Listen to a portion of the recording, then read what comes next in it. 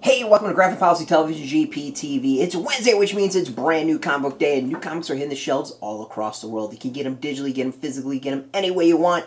It's new comic book day, and in my hands is one of those releases from Marvel. It's Winter Soldier number one, taking the character in a whole new direction, and you know, it's actually pretty interesting stuff. So, uh, the comics by Kyle Higgins is writing, Rod Reis is artist, uh, Clayton Cowles is letterer.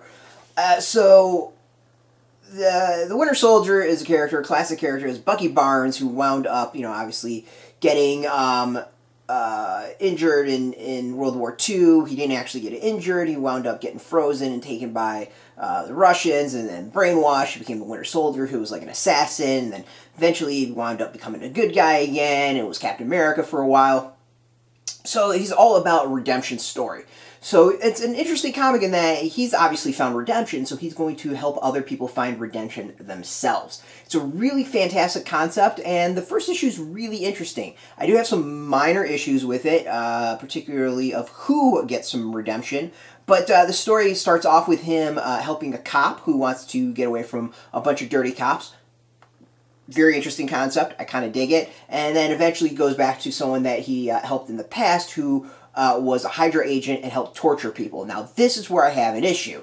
Uh, those that would be like basically helping a Nazi who killed people in Auschwitz uh, or wherever.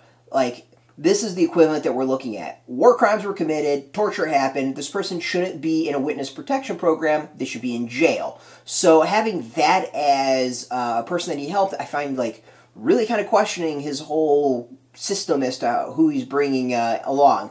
Unless this person's kind of gone like state's evidence and is helping bring down other people, which doesn't seem like the case. Uh, this is kind of a jacked up concept, uh, at least in that particular thing, and probably a little short sighted. Uh, yeah, you know, it's going back and kind of doing the whole Hydra thing and and uh, at least touching upon that a little bit. But at the same time, like how it's being done, eh, it's just it was, it's a poor choice uh, and definitely kind of took what was otherwise a fantastic first issue and made me kind of question uh, some, well, obviously the choices.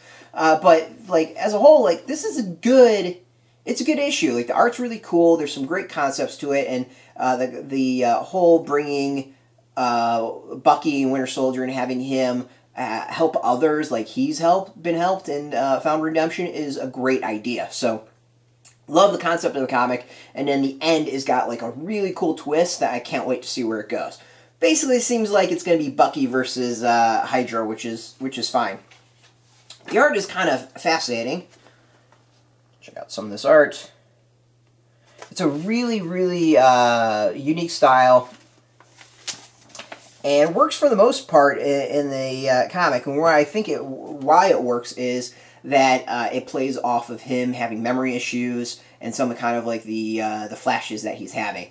So overall, like the comic's solid. Like it's a really good, solid, good comic. I just really have issues with uh, the fact that he's clearly helped uh, ex Hydra operatives find redemption when you know these people committed war crimes and really should be in jail. So uh, odd choice, but whatever.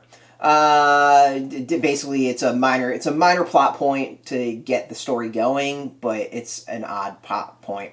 Uh, so this is out in comic shops today. Go support your local comic book shop. They are the backbone of the industry. Really important. Without them, the industry just would not function. Uh, if you don't know if you have a shop near you, there's a link beneath this video right beginning of this video, uh, that you can put in your zip code. It'll tell you if a shop's near you. No shop, no problem. We have affiliate links also beneath this video. There are affiliate links, so you know you help us and our site. Uh, speaking of helping our site, I want to thank Marvel hooking us up with this review copy. Where I always like to, uh, you know, obviously thank people, but also be transparent as to what we get for free, so you can decide how full of it we are. Uh, and I want to thank you, the viewers, for checking out our video. Now, if you're into Marvel, if you're into comics, you can check us out every single day at graphicpolicy.com. We're on Twitter, Facebook, YouTube, Tumblr, all at Graphic Policy, keeping it nice and consistent. So until next time, keep reading those comics and keep it geeky.